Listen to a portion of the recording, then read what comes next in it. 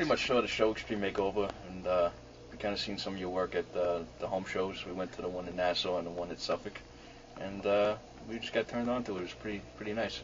That's beautiful. They did an absolutely beautiful job, as you can see.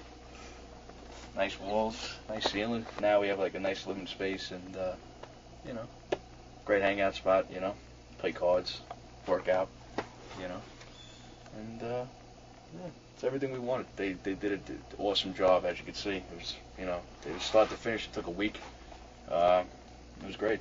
You know, great, great, very good experience between both uh, the sales and uh, the installing. Came out great.